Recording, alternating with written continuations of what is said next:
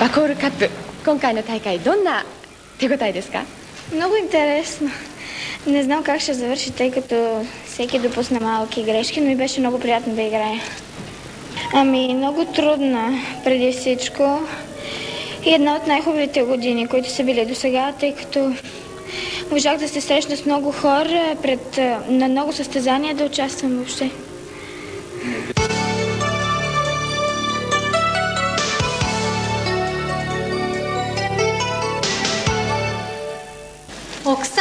コースチナロシア。オクサナ・コスチナの縄の演技をご覧いただきましょう。この演技のテーマは白と黒すなわち善と悪の戦いです。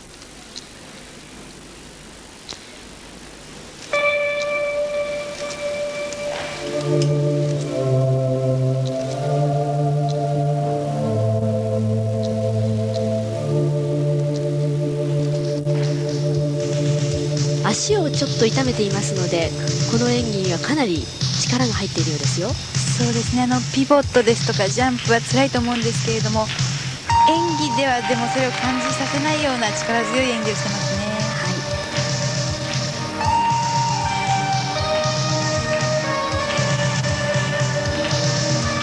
演技の中盤に出てくる3回の踏み替えなしのジャンプ。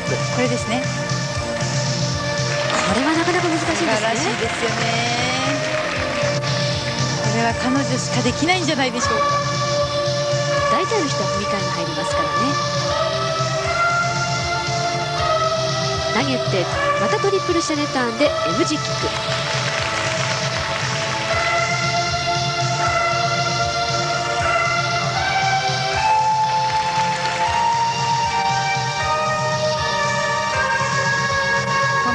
操作が面白いんですよね。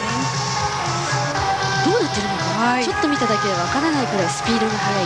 魔法使いのようですね。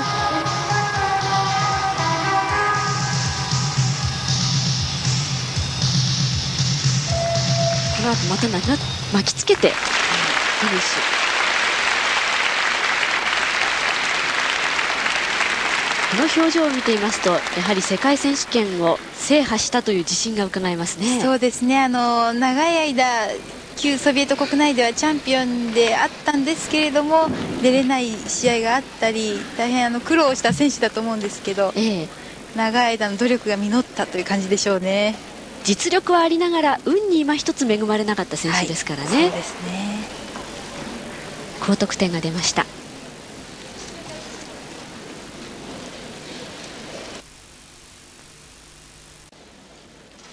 シアのナンバー2の選手アミーナ・ザリポバ選手です。柔らかい体を十分に使った演技です。ねこの入りのポーズもすごいですよね。つま先の上に輪がかっている感じですよ。会場内から思わずどよめきが起きます。どうしたらあんなに柔らかくなるんでしょうね新体操の選手は柔らかいのは当たり前ですがそれをはるかに超えて柔らかい選手です。ね。まだ演技自体は幼さが残ってるんですけれどもやはりあの柔軟性で驚かされてしまいますよね。はい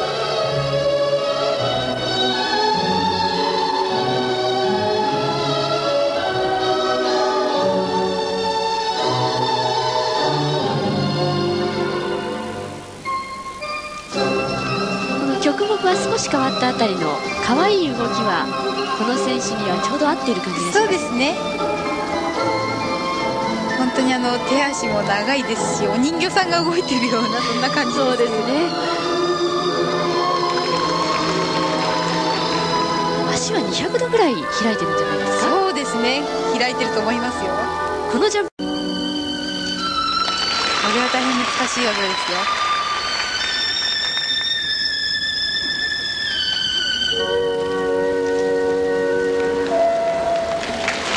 後も柔らかさをこれでもかと強調したようなポーズで終わりました。そうですね。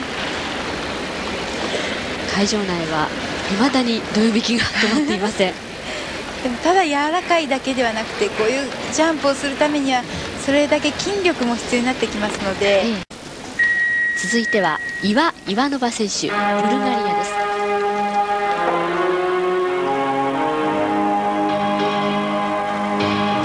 体操を始めました。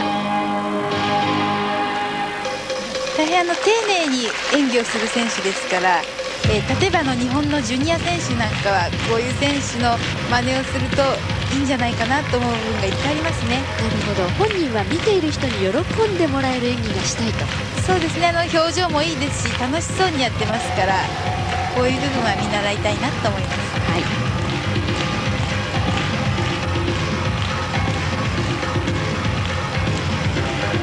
こういった縄の使い方も面白いと思います。そうですね。少し乱れはありますけれども処理もうまいですしこういう部分も面白いですよ。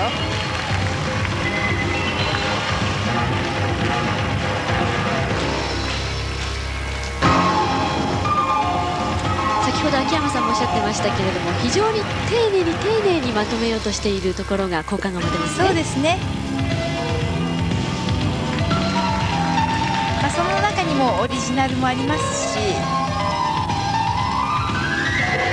こうやってあの多分海外遠征は少ないと思うんですけれども、ええ。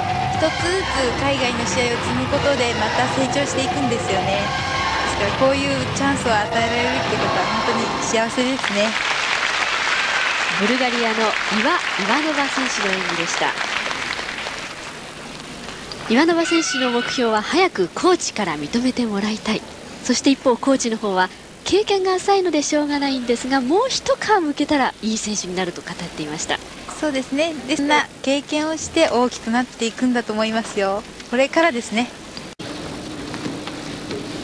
さて続いては川本ゆかり選手の演技ですがこの1年間を振り返っての川本選手のインタビューをお聞きいただきましょう